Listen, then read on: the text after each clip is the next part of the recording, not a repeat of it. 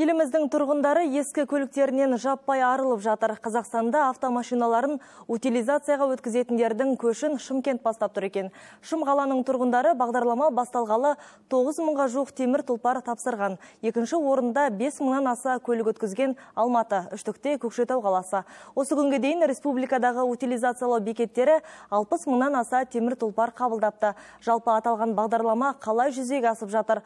Осы және өзге сауалдарға жауап алу үшін біз өндірушілердің кеңейтілген міндеттемелер операторы мекемесінің өкілі Жомарт Рахымжанмен байланысқа шықпақпыз. Жомарт Қайырбекұлы, қайырлы кеш.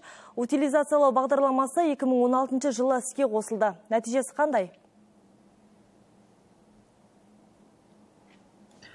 иә өздеріңіз білесіздер мынау ескі көліктерді жоюға қабылдау бағдарламасы 2016 жылдың қараша айынан бастап іске қосылған болатын энергетика министрлігінің бастамасымен Ә, бүгінгі күнге дейін осы ескі көлігін жоюға тапсырушы азаматтардың қызығушылығы өте жоғары деп айтуға болады. Бағдарлама басталғаннан бері жоюға қабылданған жеңіл автокөліктердің жалпы бас аяғы алпыс екі мың жеті жүз қырық тоғыз автокөлік қабылдадық. Бағдарлама әлі жалғасын жалғасуда. Жалпы біздің ескі көліктерді қабылдау бойынша қазақстанда 17 қабылдау бекеті жұмыс істеп тұр. Бағдарлама жалғасып жатыр. Ескі көлігін тапсырып сертификат алатындар көп пе? Әлде қаржылай алғанды жөн көре ме халық?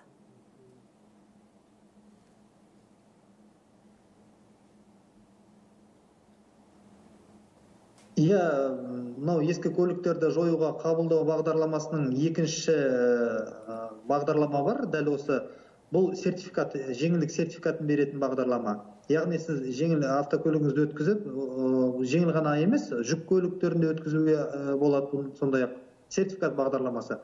Бұл бағдарлама 2017 жылдың маусымынан бастап жұмыс істеп жатыр.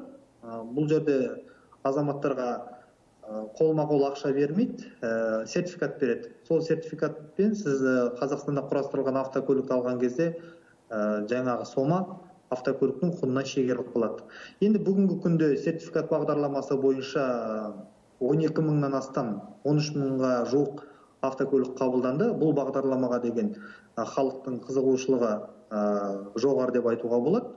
Өткізген ескі көлігін өткізіп сертификат алып оны жаңа көлікке айырбастағандардың саны бүгінгі күнде алты мыңнан асады. Яғни қазақстанда құрастырылған алты мыңнан астам автокөлік саудаланды деп айтуға болады. Осы сертификат бағдарламасы да қарқынды жүргізілуде. Дегенмен азаматтардың басым бөлігі жүз елу мың теңге яғни көлігін өткізіп жүз елу мың теңге алған алушылар да көп. Жалпы бағдарлама жүйелі жұмыс істеп тұр. Қабылданған осыншама көлік қайда кетіп жатыр? Темір тұлпарлар толықтай өңделеді ме? Жомарт мырза?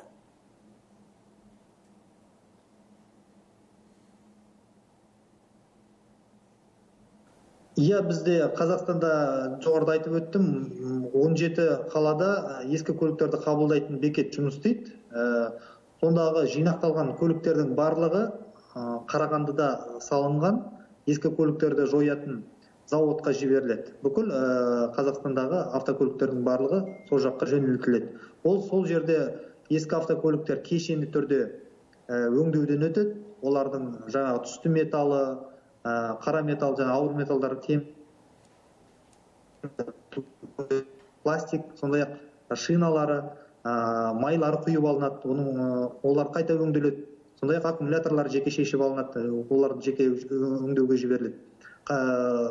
Бүкіл жинақталған автокөліктер сол қарағандыдағы ескі көліктерді өңдейтін зауытқа жіберіледі. Зауыт жылына жүз елу мың автокөлікті жоюға қауқары жетеді.